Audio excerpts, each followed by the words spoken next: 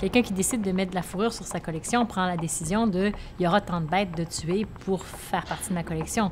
Nous, on recycle des manteaux qui ont 30 ans, 40 ans, 50 ans, 60 ans. Donc, c'est certain qu'on n'a pas du tout le même impact sur la vie animale. Sur le web, comme dans la vie, je pense, une réputation, ça peut prendre toute une vie euh, à se construire, mais ça peut prendre quelques minutes à se détruire. Moi, j'aime bien jouer encore au héros. J'aime encore jouer au chevalier. J'aime encore être euh, le gars qui descend sur un genou pour parler d'une femme, euh, d'amour. Et le crier public me permet de faire ça.